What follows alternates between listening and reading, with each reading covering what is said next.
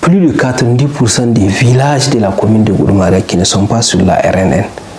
Pour les accéder, pour accéder à ces villages-là, c'est un problème. Ce n'est pas n'importe quel véhicule qui peut accéder à ces villages-là.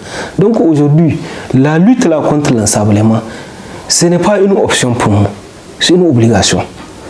Soit on protège nos cuvettes, soit on protège nos villages pour, pour survivre, ou bien dans un court terme, je ne dirais pas long terme, on est appelé à disparaître. L'État est conscient de ça. Nous, en tant que collectivité, on est conscient de ça. Le premier village de la commune qui est à l'ouest de la, la jusqu'à Kalakam, le dernier village, vous allez voir des marchés anarchiques de bois qui sont déposés.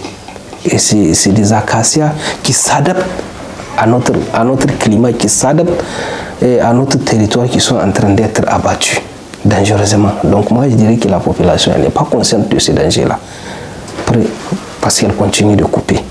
Deuxièmement, aujourd'hui, quand, quand même il y a un, un travail de fixation de dunes, ils ne voient pas le volet protection chez eux. Ils voient l'autre aspect qui est de la rémunération. Aujourd'hui, une personne qui n'a la seule revenu que l'abattage du bois, tant que vous n'avez pas cherché une autre occupation pour elle, c'est très difficile à ce qu'elle abandonne.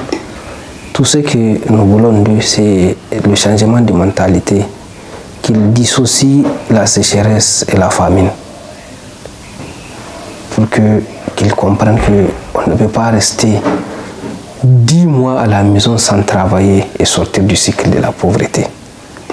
Si vous comprenez ce que je suis en train de dire, quand on travaille deux mois ou trois mois pendant la saison pluviale, avec tous les risques de sécheresse que nous encourons, et revenir à la maison, dormir pendant neuf mois et dire qu'on va attendre l'assistance de l'État, ça là, on ne sera jamais à l'abri de la faim.